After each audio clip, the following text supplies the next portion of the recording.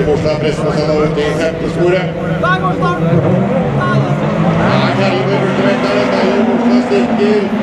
Kommer seg over Hopprenn på det Morstad stikker fra femte fra femte spor. Går litt i tid der, Terje Morstad. Kommer seg Hopprenn, så Engelsvold på inner. Men det er Hopprenn av andreplassen over kuren der. Terje Morstad har føringa. Ovren Engelsvold, As, Josdal. Vi er alle fem med oss. Vi ser om det er som går i alternativ første runde. Det er ikke. Det er Terje Morstad, det er det. Det er lenger bak der. er Engelsvold inn der på alternativet. Kommer ut på en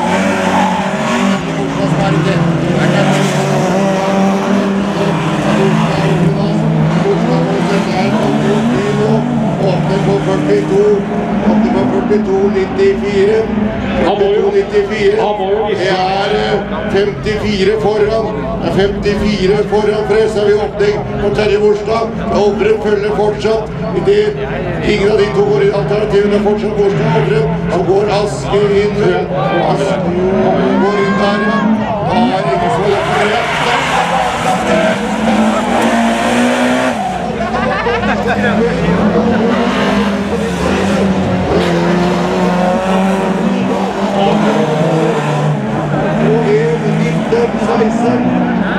1.1916. Har 49 bak Frøshaug. 49 bak Frøshaug nå. Terje Morstad. Blir sannsynligvis ikke bra nok tid dette for Terje Morstad. Ja, det må du ha. Han har ikke sett for mye med Stuart kobla ut nå. To. Han har vært ute på banetur og Jeg skjønte det. Hovren står igjen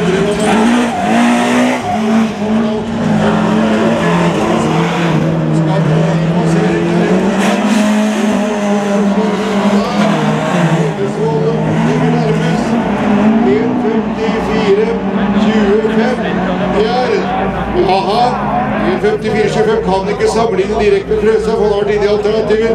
Men han er 8, er 0,8 bak Tor Linderud, og så 8 tiendere bak Linderud. Det vil si at det går ikke fort nok mot Terje nå. Og så kommer Engelsvold, Og snyter han. Ja, Engelsvold tar den. Rune Engelsvold i Søstheim.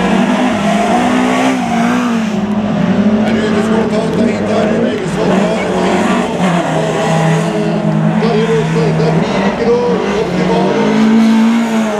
Der ligger han nå. Rosberg på tredjeplass her. Vi får inn Ask fjerde. Skal vi se hva klokka sier.